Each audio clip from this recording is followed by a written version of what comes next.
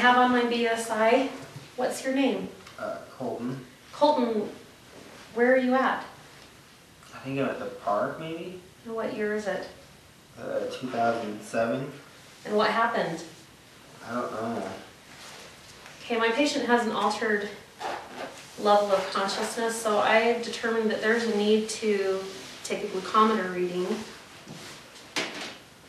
So I'm going to, my machine's already calibrated, I'm going to lay out the materials that I need, which is my glucometer, a test strip,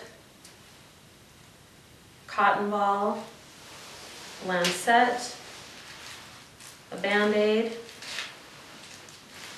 and an alcohol wipe. Colton, I'm going to test your blood sugar, Okay. So I need your finger, please. Going to clean off the site.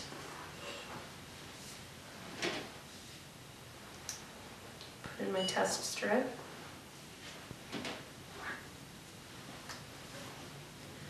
Colton, you're gonna feel a little stick on your finger, okay? Okay. One, two, three. I'm going to place my lancet in the sharps container. And I'm going to wipe away the first drop of blood, place that in the sharps container.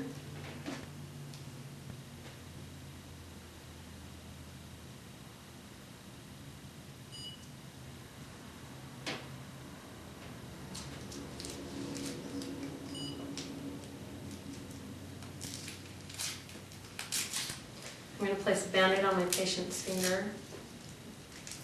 And my glucometer is telling me that my patient has a glucose reading of 50. Which means that I need to administer oral glucose to my patient. I'm going to put that Band-Aid on your finger, okay, Colton? Uh. Okay. Place that into the biohazard container also, because there's blood on it. So I'm going to need to give you oral glucose, okay? It's gonna take me about three minutes to give it to you, and I'm gonna put it in your mouth and between your cheek and your gum, okay? Before I administer the medication, I'm going to check the six rights. I have the right patient, the right medication, the right dose, the right route, the right time, and the right documentation. And I'm also going to contact medical control. Medical control, this is AEMT Kerksiek. I have a 26-year-old male patient who has an altered mental status and he has a glucose reading of 50. I've determined that we need to administer one tube of oral glucose. I'm requesting permission to administer that one tube of oral glucose to this patient.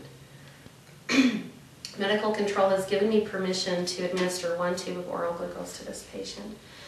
So Colton, I'm going to take off your oxygen and then I'm going to give you this medication, okay?